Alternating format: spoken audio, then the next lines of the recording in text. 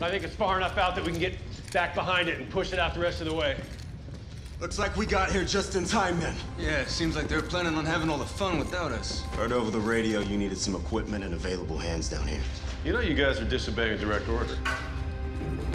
And they'll be duly reprimanded as soon as we're done here. Looks like you're gonna have to reprimand yourself as well. I'm seriously considering it. Your people are very persuasive and persistent. One shot, Captain. Either way, no one's coming to rescue us.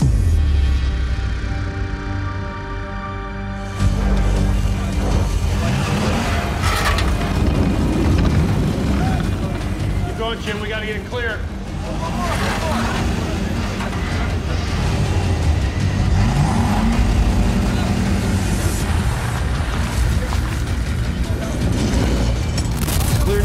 Some support beam.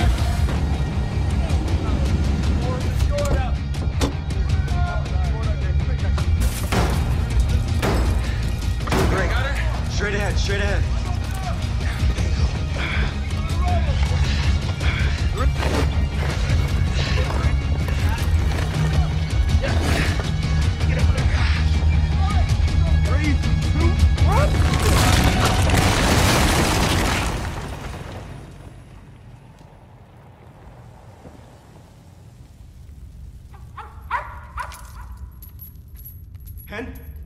Hen, are you there?